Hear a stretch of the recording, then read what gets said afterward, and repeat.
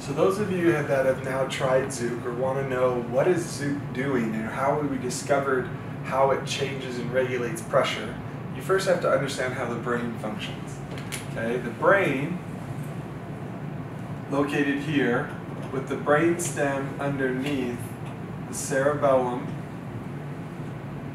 The brain stem is where all the input comes. When you have an ear, and then you have your ear canal, then you have your tympanic membrane here, and you have a series of bones that connect to your cochlear apparatus, and then you have your otolithic and vestibular apparatus.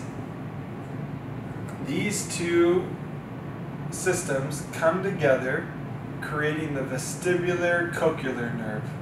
They go in through the brain stem and locate here on the vestibular nucleus and the, where the cochlear nerve branches off and sound travels.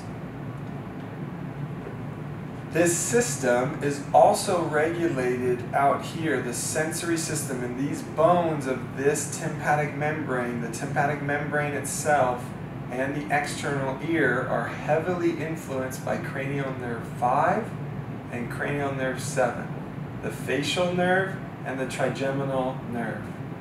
This facial nerve and trigeminal nucleus also exist here in the pons, and the pons is where most of the rest and digest regulation of the brain. So when there's stress, when there's tension, when there's pressure, a lot of times there might be pressure in your inner ear, like you feel like when you go up the mountain.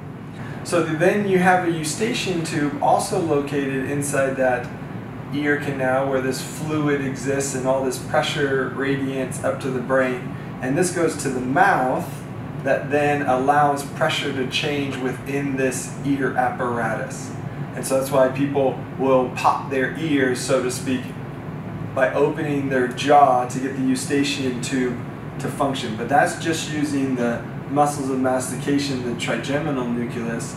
When you use the pressure gradient and use the tympanic membrane, you get higher and more input into this vestibular cochlear cranial nerve 8 nerve, which then alters the brain stem's function one side to left side. A lot of pressure imbalances and tension is that one side is more activated than the other.